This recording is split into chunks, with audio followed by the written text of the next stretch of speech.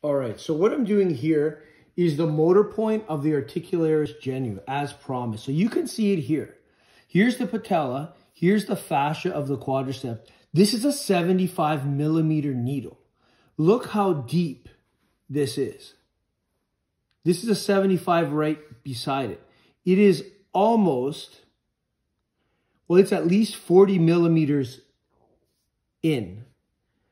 Now, that's because we have to go through the, the, the rectus femoris fascia, the, the vastus intermedius, and then the, the articularis genu. Its job, it attaches to the synovial membrane. It elevates my patella. So I'm going to do this myself. Cross is on cam the camera. So let's see here.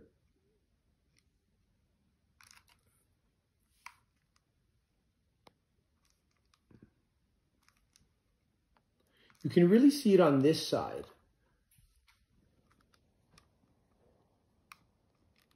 There it is.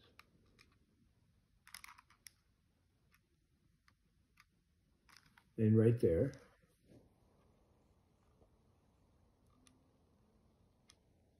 I'm going to increase the needle just a bit, insert it. So right now, I'm going right inside the bone. Let's try it again.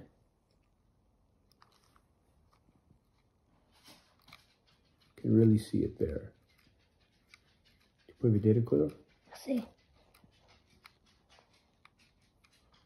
And that is the articularis genu.